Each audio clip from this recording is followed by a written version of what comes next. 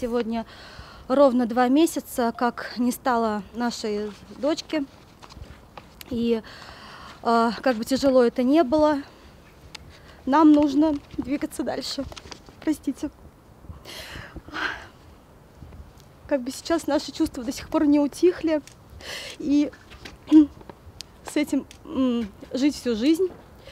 Надо бороться, потому что есть еще куча других детей, которые также ходят этими опасными маршрутами и никуда они не деваются, как мы можем все это наблюдать.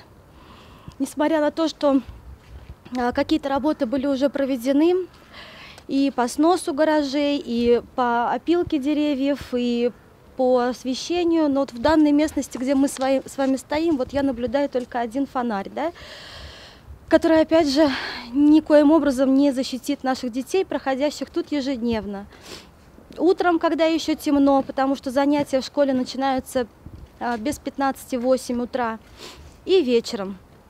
В школе также присутствует вторая смена, и многие дети ходят а, вечером также по темноте, как и утром.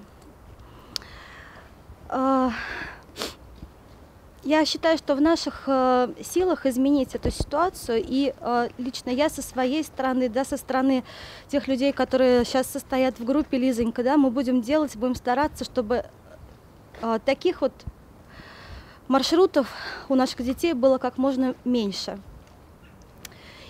Нам необходимо сделать максимально безопасные подходы к школам, создать их, ну, назовем так, прозрачность, для этого, естественно, нужно и яркое освещение, и плюс к нему, наверное, еще видеонаблюдение, которое будет непосредственно подключено к школам, и а, чтобы сразу реагировали на какие-то моменты, чтобы мы не бегали, не искали возможность где-то взять эту видеозапись, да, а чтобы уже школа могла предоставить ее сразу незамедлительно.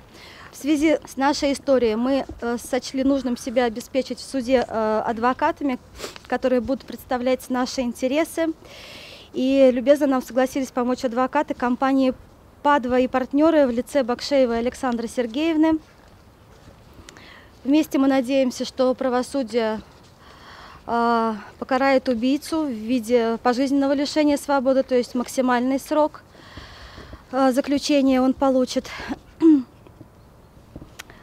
И считаю, что не должны подобные личности вообще как-то присутствовать э, среди нашего окружения. И, конечно, я говорю о, об открытом реестре для всех, кто имеет желание, э, он может посмотреть и знать, как говорится, кто живет рядом с ним, чтобы быть полной уверенности того, что дядя Вася с соседней квартиры не является такой личностью и в любой момент ребенок, даже доходя до своей квартиры в своем же собственном подъезде, не был застигнут врасплох. Такими вот маргинальными личностями, назовем их так. С нами вместе, с нашей группой Лизонька и вообще, то есть э, к нам помогает Татьяна Николаевна Загородняя, создав свой проект «Территория безопасного детства». Она э, помогает раскрывать опасные маршруты и э, в любом случае любой желающий, у которого есть что сказать, и помимо тех обращений, которые мы донесли до Татьяны Николаевны, а также до Исаева Михаила Александровича, и также подали мы обращение в Москву, э, может э, отметить все опасные маршруты, опасные места в городе на ее интерактивной карте. Все работы также будут проведены обязательно. Каждый маршрут не останется без внимания, и в любом случае это по этому поводу будет вестись определенная работа. Если мы внимательно как бы посмотрим на те моменты, которые нас окружают, которые мы можем назвать опасными, да, в нашем городе, помимо того, что администрацией города, конечно, была проведена работа по освещению, она продолжает вестись, но, э, несмотря на это, очень много еще неосвещенных мест, очень темных переходов, э, открытых люков. Я предоставила Михаилу Александровичу проект о том, чтобы вместо вот этого всего э, мы предоставили людям иметь возможность какой-то сквер, возможно, какие-то э, пускай зону отдыха, что-то такое, чтобы э, не портило вид э, людей из тех же вот домов, да, чтобы у людей была дополнительная площадка для отдыха, для развития детей, там какие-то детские площадки. Здесь есть возможность, здесь большой массив, да. Вот эта дорога, которая идет от улицы Танкистов в сторону аэропорта, ее вполне можно сделать проезжабельной в том плане, чтобы разгрузить, например, тот же перекресток и улицу Высокая.